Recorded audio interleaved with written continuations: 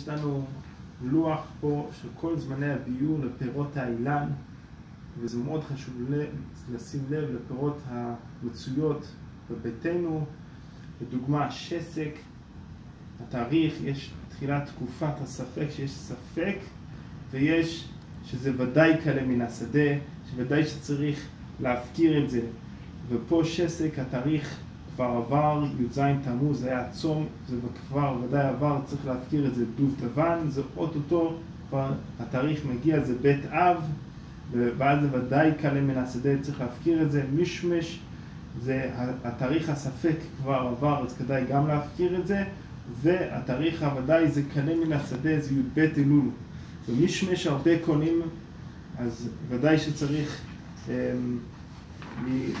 להפקיר את זה, זה עונת הגוגאים. יש גזר, שגם גזר ט"ו תמוז, כבר התאריך הספק כבר עבר, והתאריך הוודאי זה ז' תשרי. יש לנו גם תרד, שזה ודאי עבר התאריך שום, גם עבר התאריך, היום עבר התאריך של שום.